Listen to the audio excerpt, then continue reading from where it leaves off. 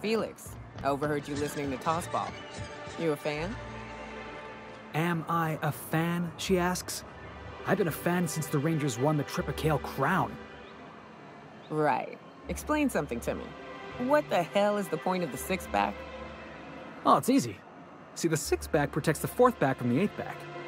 You want to think of the six-back as your 12th line of defense, yeah? Unless, and this is important, the game's in the third half. In that case, a good six-back knows how to pivot toward defense in case the other team runs the field. I'm even more confused now. I'm just gonna turn my brain off and try to enjoy it. Also the slogan of the Anti-Cleo Darlings.